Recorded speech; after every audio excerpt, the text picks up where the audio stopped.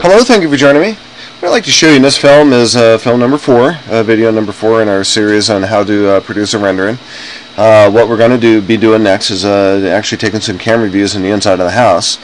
And a couple more things in regard to the sun path before we turn it off is I want to kind of manipulate this in a manner that we can take advantage of what the sun might look like on the shortest day of the year when the sun is highest up in the sky and that's noon on December 21st or 22nd or somewhere close to that date. So we're going to set it to the 21st and we're going to set our date to our time to about 12 post meridian.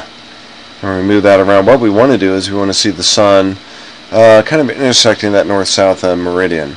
So 12:15 is a little bit uh, late for that. Maybe right at noon probably would be good. Maybe just before that. It all depends what your location is and where you're at uh, in regard to your time zone. But uh, it seems to be fairly accurate here. Right at noon seems to work. And it's got to be uh, you know up to uh, half an hour earlier or half an hour later, depending on where you're at in your time zone. So enough of that. We already have that set. We have it set for the winter solstice at about noon. And now that we have that set, we're going to go ahead and turn our sun path on. But before we do that, actually, let's turn our shadows on so we can see what our shadows look like. We're not going to see any when we set our camera view up, even if we do the realistic setting. We're not going to really see shadows in there, but we are going to see shadows ultimately in sunlight on the floor when we take our renderings, our photoreal renderings in the inside of the house. But to kind of give us an idea of what we might be looking for, let's go ahead and turn our shadows on and let's turn sun path off. Boom. Let's take a look at the inside of the house move this around, you notice that uh, what I have created here is a second floor living room. Really like that concept. Gives you an opportunity to look out over over the landscape with a much higher perspective, and uh, with it uh, above the the forest canopy here in a way. If you have landscaping in front of the yard, it provides for a lot more sunlight coming in. So you can see some shadows in there. I have a living room set up and I have a dining room back here and a kitchen on the right hand side. So let's go ahead and put a camera view in. In order to take a photoreal rendering of something, you can do it off of your 3D view, but typically you do it off a camera view, so you want to set up some camera positions inside your house. So we were talking about the second floor. Let's go ahead and set up the second floor up here. And let's put a camera in. If you go to your 3D view, we've already created a default 3D view. You can't do two of those, only one per model. And the two other choices are a camera view and a walkthrough. We'll talk about walkthroughs in different videos. But uh, let's go go to the camera. Click on camera. Let's do a position of the camera. One thing I may have a, a, little bit of concern about is my dining room. Once I put furniture in there, I realize that it might be kind of narrow. So I'm going to take a look at that and see what the dining room looks like. So I'll do a couple different camera views. I'm going to set it here right by my, my windows and then look right into uh, right into the dining room. You notice that at the end of your cursor you have a little red icon with a blue X to it. What that does is it allows you to set the position of the camera, but also allows you to set the, the depth of field.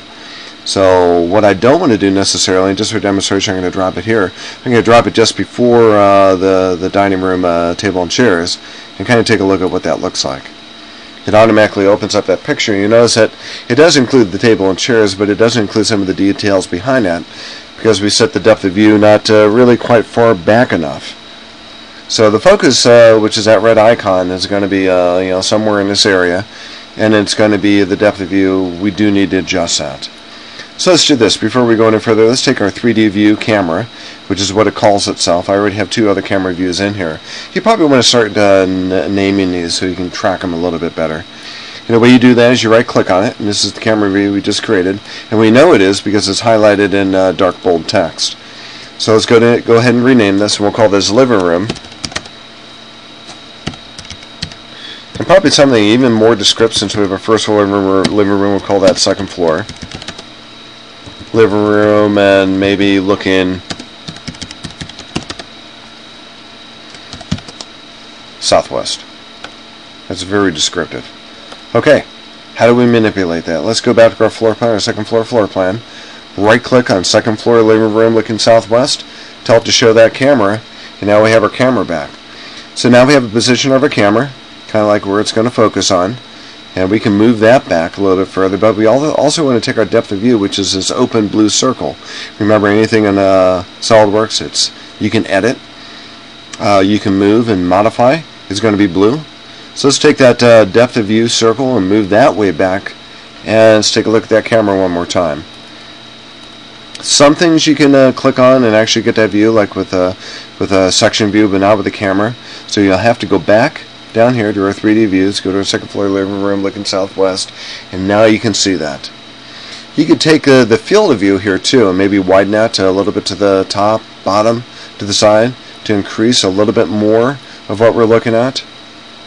That looks a lot more inclusive and compared to uh, the dining room or compared to the living room and the kitchen. And uh, it looks a lot more wide angle. That dining room is teeny tiny.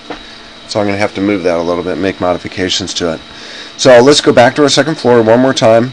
Take a look at that camera by right clicking on it, go to show camera. And now you notice that the triangle that defines our depth, or not our, our field of view here, is a lot wider because we made that manipulation uh, within that camera view itself. And our depth of view back here is uh, moved back a little bit too. That includes that too. So this triangle that you see with the camera, kind of turned off there, show that camera one more time, we are seeing everything that's within inside this uh, triangle.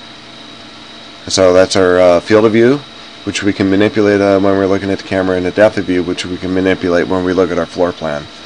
Okay, more in the next video.